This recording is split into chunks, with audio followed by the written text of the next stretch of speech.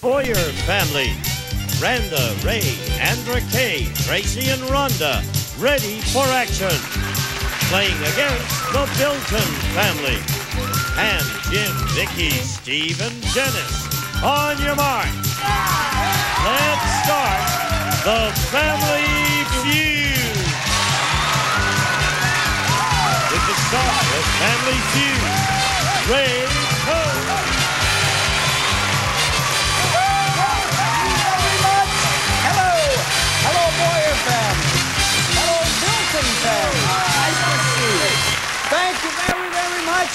We've got an enthusiastic crowd. We thank you for tuning in at home, and I want you to meet our returning champions right now, all the way from Arizona. It's the Bowyer family. We welcome you. Rhonda, Hi, Ray. welcome back. Thank you. Your family has won $10,445. Yeah. Great come from behind fast money victory, mostly attributed to your Randa. teammate Randa. Right. Tell Randa. everybody else who you brought with you. This is my gorgeous sister-in-law, Randa, who Yes. pulled it out for us last Yes. time.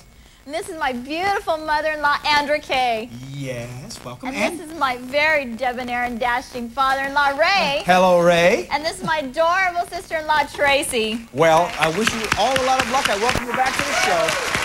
You may get the chance at adding some more money to that till, but you have to beat the Bilton family to do that. Dennis, how you doing? Nice to see you. Where's your family from? From Ohio and California. Ohio and California. What part of Ohio? Northern part, up near Cleveland. All right, I'm from Ohio. Now, who'd you bring with you? My sister, Vicky, Hi, Vicky. and Hi. her husband of 20 years, Steve. Hi, Steve. My other sister, Pam, Welcome to the show. and her husband of 17 years, Jim. Are you ready to go, Jim? You got it. We welcome you to Family Feud. Somebody's going to play for ten thousand dollars, and to do that, we've got to play the feud. Come on, let's go, Jim. Here we go. Good luck to the Bowyers. Good luck to the Biltons. First family to three hundred dollars is going to play for ten thousand. Who has the quickest hands and the best answers? We ask hundred people this question. We put the top five answers on the board. Try to give me the most popular answer to this question. And this is a darn good question. Name something that a woman treats better than she treats her own husband. Rhonda? Her dog. Her dog. I hope it's not up there. Something a woman treats better than she treats her own husband. Show me her dog. Number two, a bat. Dennis? Dennis, there's one answer that, was, that is more popular. Something that a woman treats better than she treats her own husband. Her children. Could it be her children? There you go. They've. The Bilton family. Yeah. Go on. What a thought-provoking question. Her pet, number two. 27 people. Okay, what do you say, Vicky? Something that a woman treats better than she treats her own husband. Parents. Her parents. Yes. All right. Good answer. All right. All right. All right. Is it up there? Her own parents. Steve, you sounded like a Marine there for a second. I, I didn't want to. That's all right. Now, who are you married to? Uh, Vicky. Okay. Think about this. Maybe, maybe, maybe you can call on real life experience, or maybe you'll just have to guess what our survey said. But name something that a woman treats better than she treats her own husband. Um, I would say her house. Her house. Does Vicky treat her house better? Absolutely. She does. Yes. Good answer. All right. All right. I'm home. Does your house ever talk back to you? Not very often. Okay. All right, Steve. Let me see her house. All right. The question is, name something that a woman treats better than she treats her own husband. House could apply. Pam, how you doing? Good. How are you? And 17 years been married to Jim? Yes. Okay, what do you say? Something that a woman treats better than she treats her own husband. Her best friend. Ooh, that makes sense. Is it up there? Maybe her oh, best friend. Yeah, come on. Three strikes, Jim. You don't get a chance. All right, Bowyer family. Now you can steal this bank if you can name something that a woman treats better than she treats her own husband. Tracy, Herself. herself. Ray, Her parents. parents already said didn't make the survey. Uh, Andra Kay, Her wardrobe. her wardrobe, Her jewelry. her jewelry. All right, so we pretty much have described Zsa Zsa Gabor here today. Um, name something that a woman treats better than she treats her own husband. Rhonda. I say, um, what do you say? One, two, three, four. I say herself. Like a cheerleading thing here. Ray, I'm going to have to say herself. You know, you clap for your own family. You were the only one clapping. Your family didn't back you up. They didn't say anything. If herself is there, you have stolen the bank from the Biltons. Let me see herself. You! Ten people said herself. Sixty-two dollars come over to our champions. And the question of name something that a woman treats better than she treats her own self, we did not know. Number four. Jewelry. Who said that? I said that. How about that? Boy, and number five. Fur coat. Oh, well, we're coming right back, and you never know what's going to be on the survey. There's a lot more fun after these messages. See you in a second. Your family has $62. The Biltons goose egg. Here we go.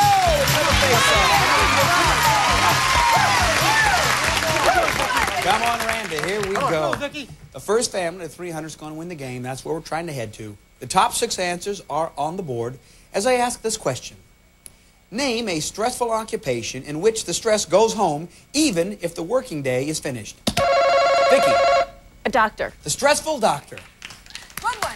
Number two, ah. physician. One answer is more stressful. A stressful occupation in which the stress goes home even when the working day is finished. A lawyer. Could it be a lawyer?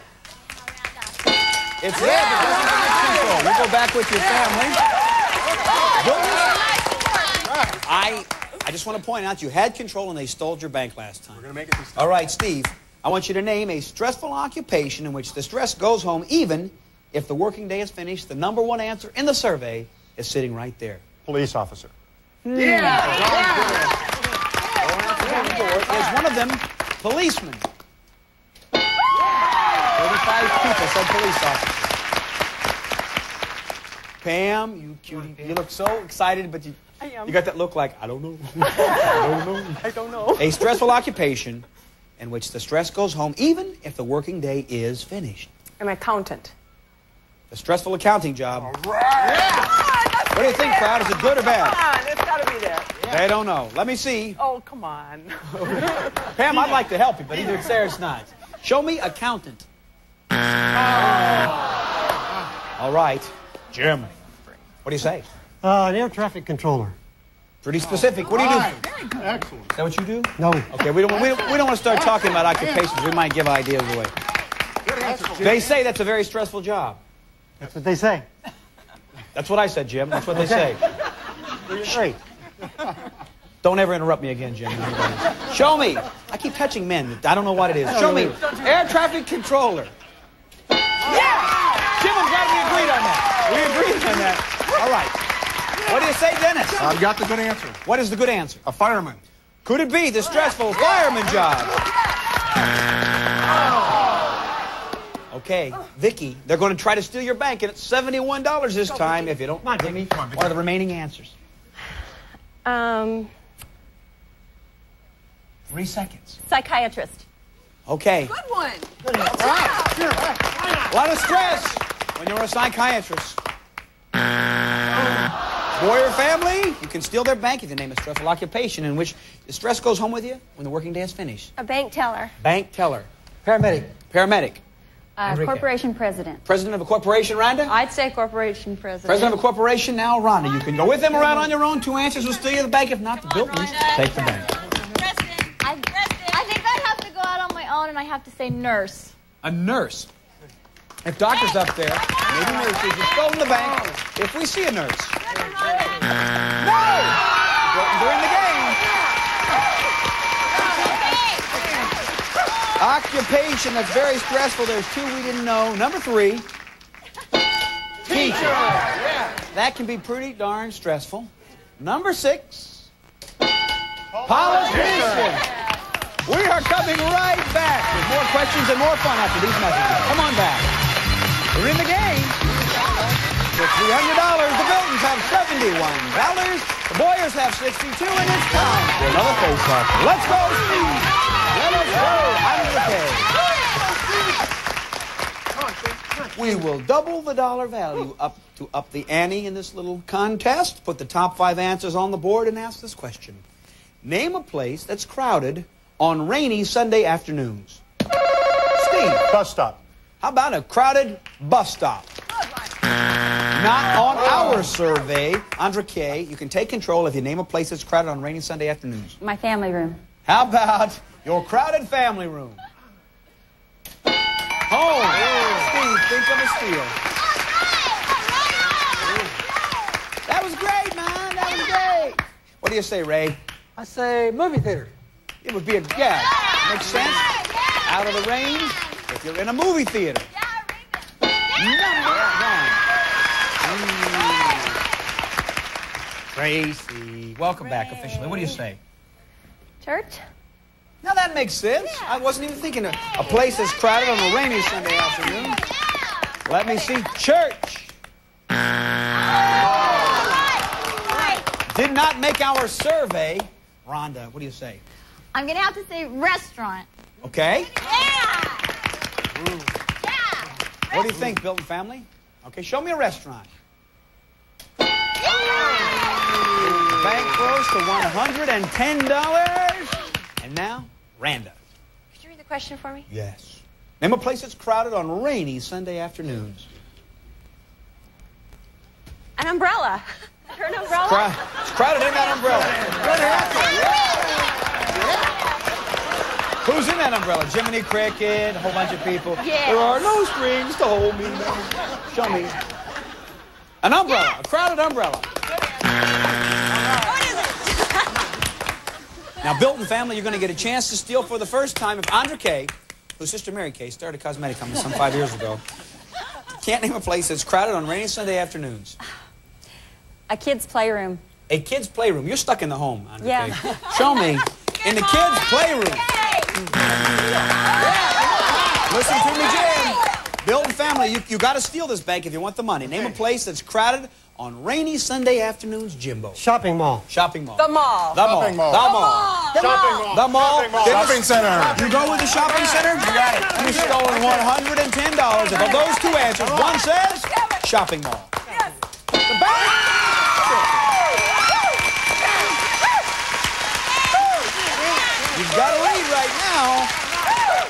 Places crowded on rainy Sunday afternoons. Help me crowd number five. Five. Not said. $181 for the Bilton family. The Bowyers have 62, and we go. Here we go. Come on. Come on, Pam. Here we go, Ray. Pam.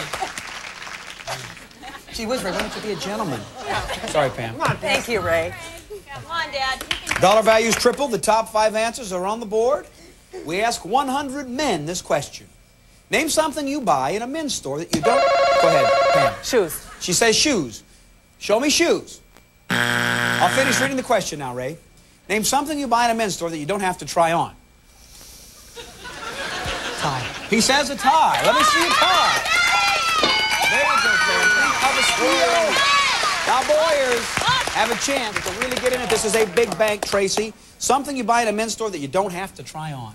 A tie clip. How about a tie clip? Good try. All right, now your turn, Rhonda. I'm gonna say underwear. Yeah! Well, it can hurt if you just get the wrong size. Get walking on. Mm, mm.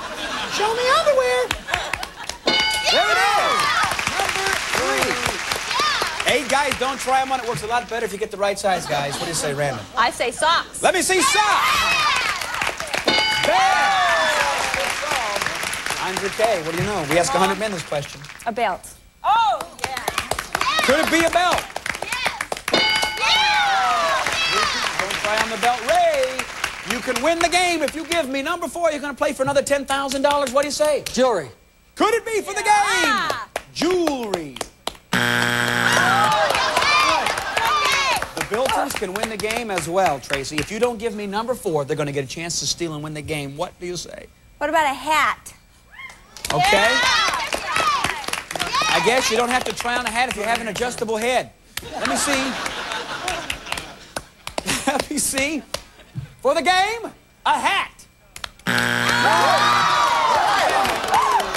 Jim, let me just point out the gravity of the situation here. You must give me number four or they will win the game. Name something you buy in a men's store that you don't have to try on. A comb. A comb, A handkerchief. a handkerchief, Cufflinks. Steve? Cufflinks, Wallet. a wallet. Now, Dennis, before you speak, you may go with them or out on your own. What do you decide to do? Wallet. You have to tell me number four to win the game. Wallet. Handkerchief. Wallet. Handkerchief. A wallet. He says a wallet. If number four is wallet, you have won the game. If not, The Bowyers are still the champions. Is it Wallet? No! They maintain that battle and are still the champions. It seems to me that it would be handkerchief. Did anybody say that? Okay. What is number four? Scarf. All right, I have to say goodbye to the Bilton family. You played so well. Steve, stay right here. We've got nice party gifts for you. Pam, God bless you. Thank you for coming on this show. Stay here, Jim. I need two players for 10,000 more dollars. The Bowyer family will be playing fast money right after this with Rhonda. All the way from Arizona. You don't want to miss it. You ready? Get that thinking and put your thinking cap on. I'm going to ask you five questions in 15 seconds. You give me the most popular answers that you can think of. When you pile up 200 points with your partner, you get another $10,000. Great. All right? Can we have 15 seconds on the clock, please? Time won't begin until I finish reading this first question. Good luck, Rhonda. Name something people examine very carefully before buying it. Jewelry. A fattening drink. Chocolate shake. A sandwich served hot. A grilled cheese. An animal that runs away when it hears a sound. A dog. An occasion for a big party. A birthday. Turn around, that is five. How many points did you get last time you played this? Do you remember? 60 something. 60, and you thought you did badly. We'll see how you Yes, I did. did. Something people examine very carefully before buying it. I think you said the same answer four times. You said, Julie, are you a material girl? I'm hinting for, you know, next Christmas. Okay. Our survey said three. Mm. A fattening drink, you said? A chocolate shake. Our survey said 35. A sandwich that was served hot, you just quickly said grilled cheese. You must like those. My kids. Okay, our survey said 16. An animal that runs away when it hears a sound. You said the running dog. Our survey said only eight. You're approaching the points you had yesterday. I know it. An oh. occasion for a big party. You said a birthday. How many did you have yesterday? I had. I can't remember exactly 66, you said. Our survey said 35. You're at 97. Very nice. You bring in your sister-in-law, Randa. Come on. Randa, take a look. You need 103 points for 10,000 more dollars. You look straight ahead. I'm going to put 20 seconds on that clock. I'm going to reveal your partner's answers and ask you the same five questions that I asked her. If you hear this sound, it means you've duplicated one of her answers, and I'll say try again, and you give me another answer. Are you ready? You bet. Keep in mind we ask 100 people these questions. Here we go. Name something people examine very carefully before buying it. Uh, diamond. A fattening drink. Milkshake. A sand. Try again. Um, soda pop. A sandwich served hot. Hot pastrami. An animal that runs away when it hears a sound. A rabbit. An occasion for a big party. Birthday. Try again. Uh, New Year's Eve. Turn around here. You need 103 points.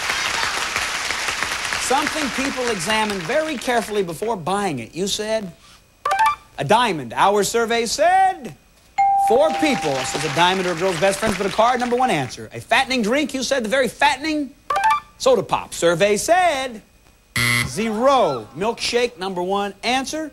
A sandwich that's served hot. 99 points away. You said hot pastrami. Our survey said 12. Roast beef, most fattening sandwich, served hot, not given. An animal that runs away when it hears a sound. You said Twicky Wabbits. Our survey said 28. Hmm. Number one answer was a deer, not given. You are 59 points away. An occasion for a big party. You said New Year's. It certainly is, but did 59 people say it for another $10,000? Our survey said 31. Birthday was the number one answer given by your partner. You've got $5 a point, giving you another $860. Come out here and hug Ren. Come and give her a hug. The Bowyers are still the champions. We're coming right back. Please do not go away. Nice try. You get another shot. For the family feud with the Bowyer family. We'll see you next time.